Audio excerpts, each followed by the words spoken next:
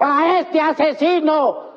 Vean lo que le pagamos cada mes por no hacer nada, mientras trabajadores del sector salud han sido despedidos, mientras hay miles y miles de víctimas en este país.